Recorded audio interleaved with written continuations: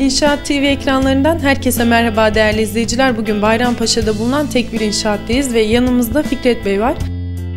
Yaklaşık 16-17 yıldır e, Bayrampaşa'da e, şirketimiz halka hizmet vermekte. Hizmetlerinizden geniş kapsamlı bahsedebilir misiniz? Neler yapıyorsunuz?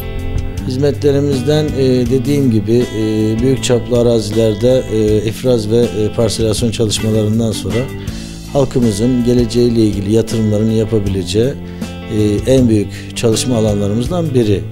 E, 20 yıldır bu işi yapıyoruz.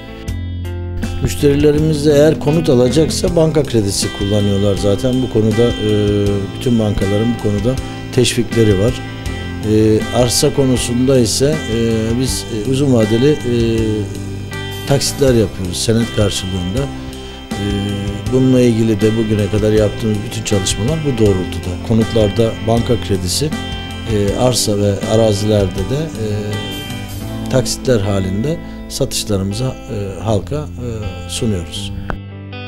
Tek bir inşaatın farkı güvenilir olması, itimat edilmesi, bugüne kadar yapmış olduğu işlerinde sözüne sadık olması ve başta da söylediğim gibi e, yatırımcıya en iyi yatırımı sunabilmek, onları ileride karlı e, hale dönüştürebilecek e, arazi tespitlerini e, vatandaşa halka sunmaktır. En büyük özelliğimiz bu. Sevgili seyirciler, İnşaat TV olarak bugün Bayrampaşa'da bulunan tek bir inşaattaydık. Bir dahaki programda görüşmek dileğiyle, hoşçakalın.